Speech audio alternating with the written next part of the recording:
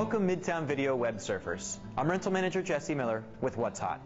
Today, we're going to import footage from the FS100 to Final Cut Pro.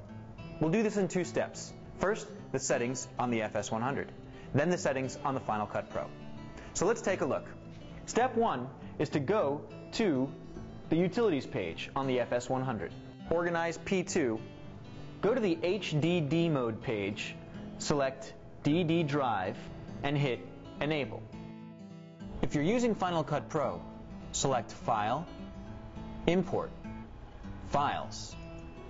Look for your Firestore hard drive on the left-hand side, find your video, and select Choose.